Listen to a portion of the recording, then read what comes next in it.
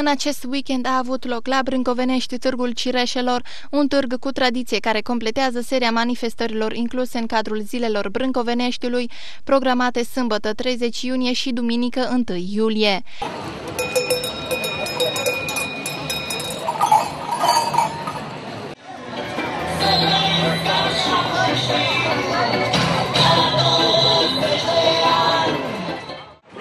aduse din afară pentru prima oară în comuna dumneavoastră. Deci nu ezitați, nu mai stați pe dreapta cavalerii de la mare, vor dăm puțin cu fetele la plimbare la aeronava dansatoare. Pe parcursul acestor două zile au avut loc activități sportive și cultural-artistice, iar seara atmosfera a fost întreținută de concertele organizate. Târgul are o istorie de peste 100 de ani, însă odată cu trecerea timpului, acesta a rămas tradițional doar cu numele, deoarece cu fiecare an care trece, se pare că sunt tot mai puțini comercianți care vin cu cireșe. Aveți vânzare? A, pre nu prea avem ca anul trecut. Anul trecut aveau oamenii mai mulți bani.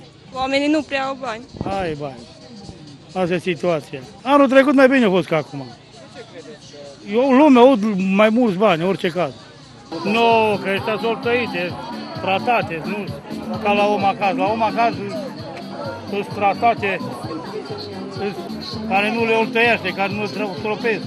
Au predominat pe tarabele vânzătorilor articolele vestimentare și alte obiecte, însă mai puțin fructele specifice târgului. Fie că nu au beneficiat de cele mai frumoase recolte, fie căldura prea mare, au făcut ca anul acesta așa zisa expoziție de cireșe să nu fie prezentă.